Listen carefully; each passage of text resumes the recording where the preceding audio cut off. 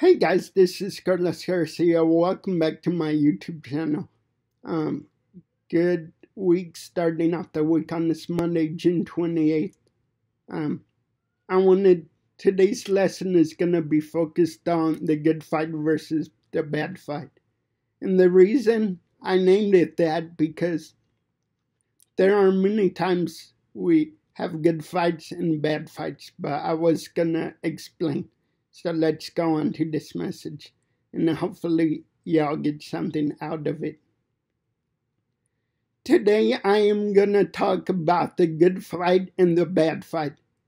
If you have been in church for any length of time, you have probably heard the story of Moses leading the Israelites out of Egypt. This is Exodus 1 through 15, half of the book. In the story, Moses listens to God to drive them out of the land. During that time, God hardens Pharaoh's heart. God brings plagues to the land and demonstrates his power as Pharaoh didn't want to let the Israelites go.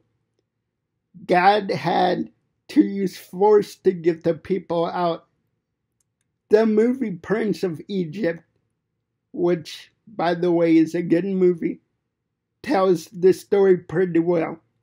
Although many of us heard or seen this story, I'm gonna focus on one verse of the story. Today's reading comes from Exodus 14 14, which says, The Lord will fight for you, and you have only to be silent. Uh, which that's a good verse, by the way. We are mainly focusing on the good and the bad fights. First, first of all, we'll start with the bad fights. My interpretation of a bad fight is like arguing the bad way. In other words, fights that you get nowhere or end up in violence and it causes you to sin or something. Naturally, people are going to fight, but as long as it does not lead to a person becoming abusive, this fight can be a chain reaction for children. In other words, and if that is all the child knows, they can be, be abusive. I am not talking directly about abuse, but that is a sin. Alongside the bad fight, we have the good fights. So, in other words, the bad fight, which I say can be abusive or violence or whatever, uh, is pretty much talking about it could be passed down generation to generation to generation. So let's go on the other hand. To me, a good fight is exactly what the verse says. So therefore, stuff gets accomplished. I am going to give you an example of my parents. A good fight that actually affected me so they wouldn't mind me saying. So this takes place a long time ago. My parents had to tell me this because I was way too young to remember, as it has to do with cerebral palsy. One story is here's the story. I was given the privilege to go to La Vernia. The second story is so I'm telling two little stories, but not full detail. So my parents had to fight in order for that to happen.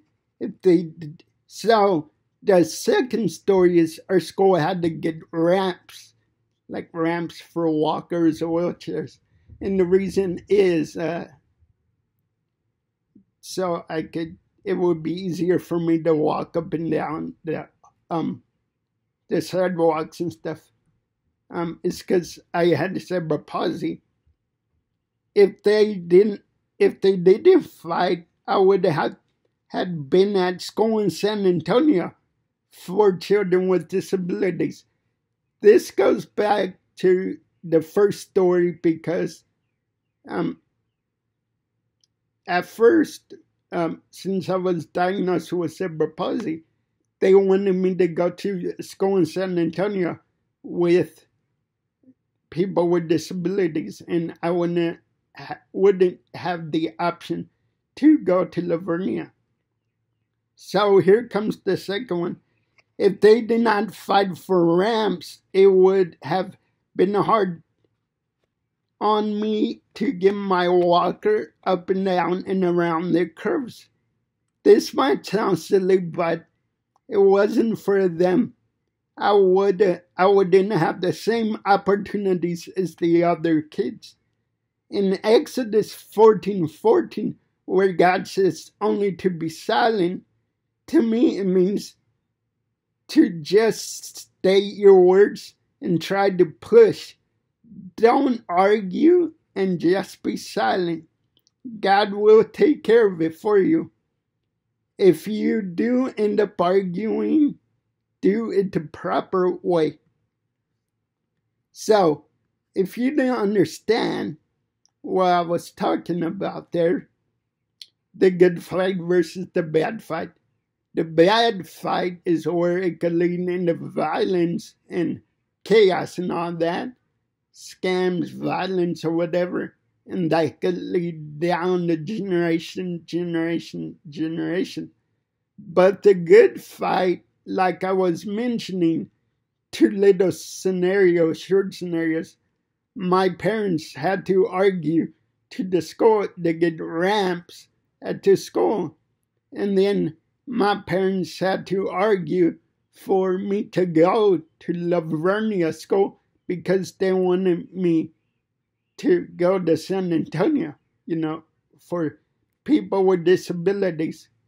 But um, they had to push, my parents had to push, and they were able to get it because um, there was another boy with me who has spina bifida, and um, I just he had to use ramps too. But honestly, this sounds silly, but the ramps helped me out so much, and then going to school helped me out too because I had all the same opportunities as the other kids had. I mean, besides special ed, but at that time, um, and this relates to today, as in, if you're silent, fighting the good fight, as long as you state what you're going to fight about, do not argue. And if you do argue, make it a good argument, but not like get ugly and stuff. And since God is going to be on your side if you pray about it, and if you be silent, it will work out at the end, even if um, you don't think it will at first. So, and like, I hope y'all got something out from this message. This is Carlos Garcia again, and um, please hit the thumbs up because it helps YouTube's algorithm. And like this way, hit the thumbs up and subscribe because it also helps the channel. Thank you all for listening. Have a good Monday and the rest of the week.